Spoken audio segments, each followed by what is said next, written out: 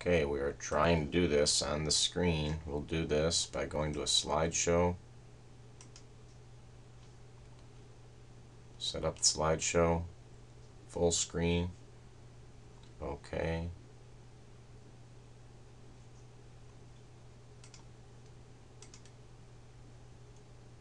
Alright, we're going to see whether this will work. We are recording in Cam Studio. That's the one that you have access to.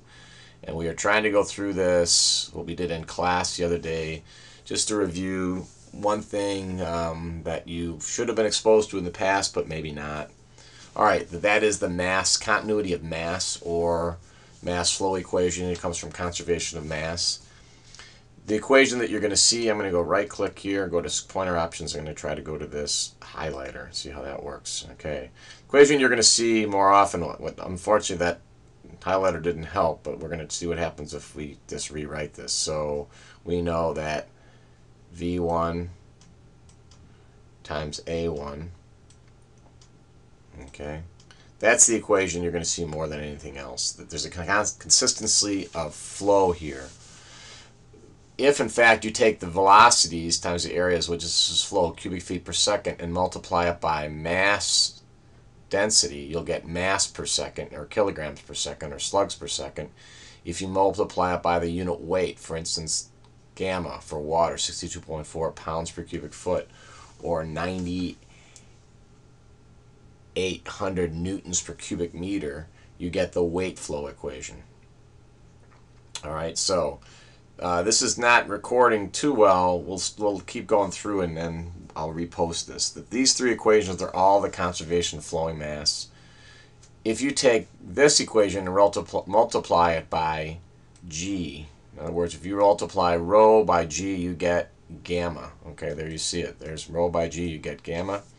And this is then conservation of mass very often this is also, you're going to see this written as Q equals Q, or Q1 or Qn, Q1 equals Q2. And that, in fact, we talked about last semester, that is, in fact, volume flow as opposed to mass flow. See if we can go down here and go to the next slide, if it's recording. So I used an example in class that had to do with um, a, a water break in Chicago, um, and we went on an assumption that there was water in a water tower. We thought talked a little bit about energy flow and how um, if you knew the velocity of water leaving the um, the break, if it was going straight up, you could use the equation uh, velocity equals the square root of 2gh, work it backwards, v squared over 2g, a velocity head is how high that water will go. You'll see that in class. Um, that's a great one. Remember velocity head is v squared over 2g. But let's assume here that, as we see here, this was coming out, the water was coming out at 50 foot per second here. Right? And we talked about an energy grade line looking something like this, very flat, a little bit flatter, and then a lot flatter here. And why is that? Well, it's the reason it is is because of the one fact that we know is that energy loss or head loss is proportional to velocity head, the square of the velocity. So if we go to the next slide here, we see that in fact if it was coming out at 50 feet per second here, it was only traveling at 8 feet per second here.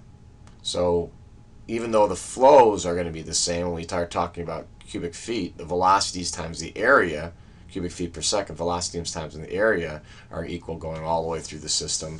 The velocity lives, leaves here at 50, and it's coming in at 8, more or less where it's coming out of the tower there before it gets to North Avenue. This is North Avenue, I think it was, or some north side, north side of Chicago. Could be New York, could be Rapids, could be Point, could be any place that you're needing to pull a lot of water, particularly into an industrial district. All right, so if we looked at this, even though it's leaving coming at 50 feet per second, if it's flying, flowing out with 50 feet per second, it's flowing through the 10 foot diameter pipe with 8 feet per second.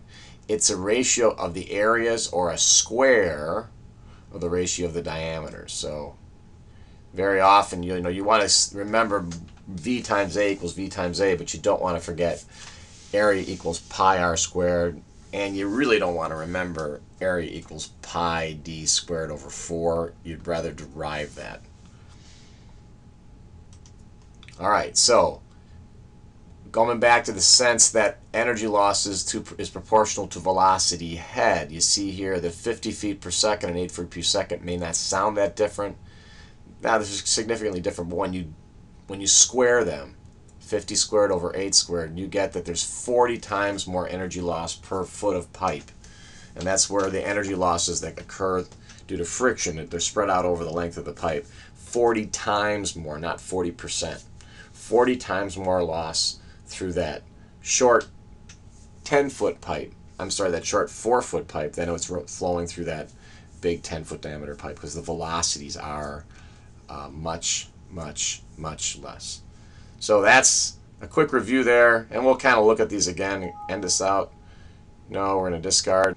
Hit Alt. Oh, we got it here. We can go ahead and hit stop.